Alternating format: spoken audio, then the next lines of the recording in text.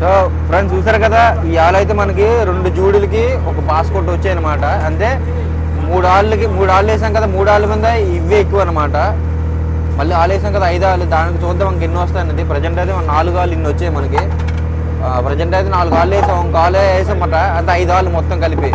అది లాస్ట్ అనమాట ఆ ఆళ్ళతో మనం బయటకు వెళ్ళిపోతాం. చూద్దాం ఆ ఆళ్ళు ఉంటాయో లేదు చూద్దాం అది కూడా ప్రజెంట్ అయితే మనకి ఇవాళ ఎక్కువ వచ్చాయి.